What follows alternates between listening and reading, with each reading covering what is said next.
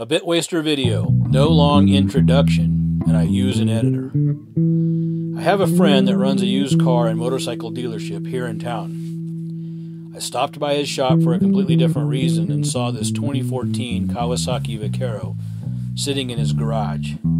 The explanation was that it was dropped off a flatbed truck during repossession. My guess is they were using a sling and it slipped off. The damage was only to topside plastic and fenders, and nothing below the waist, which supports the story that it was not a wreck and there does not appear to be any damage to the frame, engine, or chrome. My friend bought it at auction with a clean title about a year ago and stored it thinking he would make repairs and keep it or sell it. However, Kawasaki Vulcans don't retain that much value and he was looking at an ever deepening hole. Long story short, a 2014 Kawasaki Vaquero with 1800 miles and in need of a ton of new plastic. Let's have a look at the damage. First, we have this ding in the fender.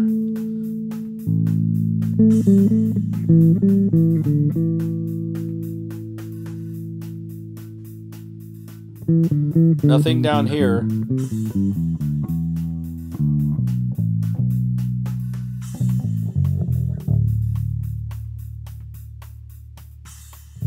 But then there is this trash right side saddlebag.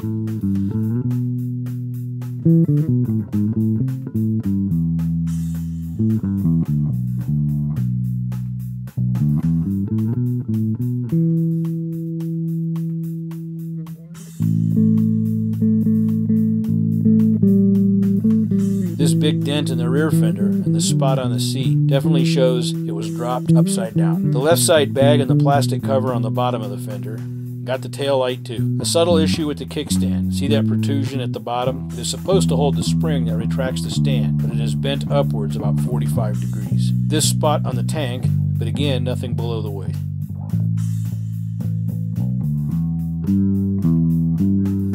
The right side of the cowling, inside and out, and the inner frame were smashed, but the crash bars don't have a scratch. The cowling inner frame was bent bad enough that the handlebars were so limited that it could not be ridden, just started.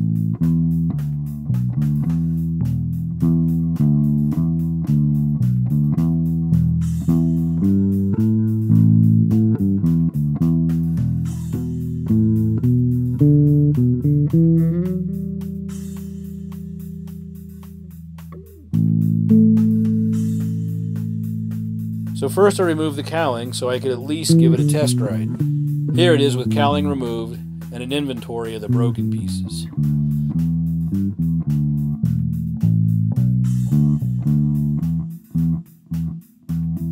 The bends in the frame look less significant than expected, but not worth the hassle for me to try to straighten. Here is my hardware organization using sandwich bags and post-it notes. And the saved pieces, not many. Actually, one of those storage covers has a slight little crack, so it gets replaced too.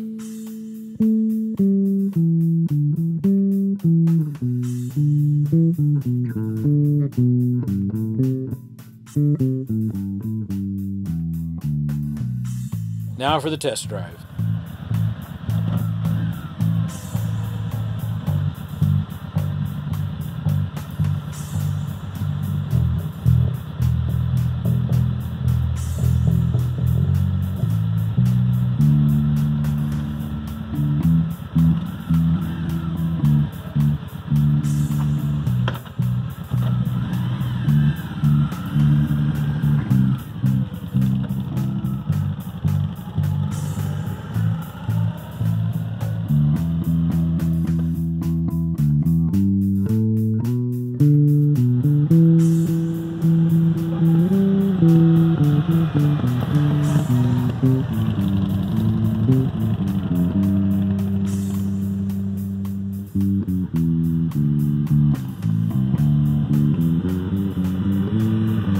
Everything operated fine for the short little drive I could take it on. Next step was to strip the rest of the parts to be replaced.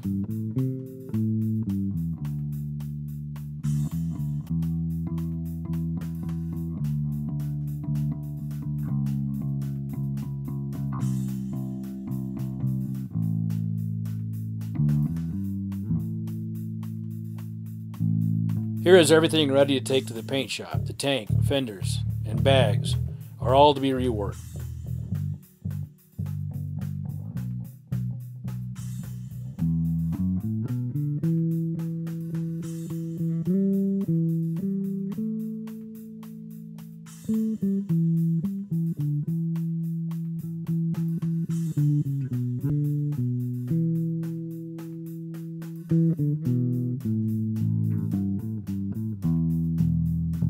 Cowling and a few other totally destroyed parts have been ordered.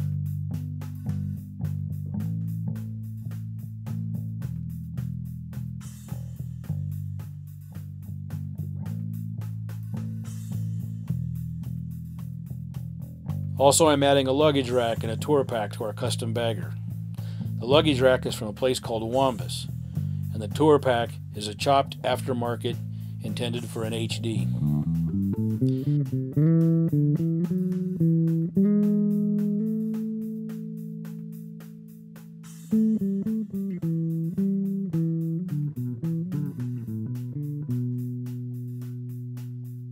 The final touch will be a custom two up seat and a backrest.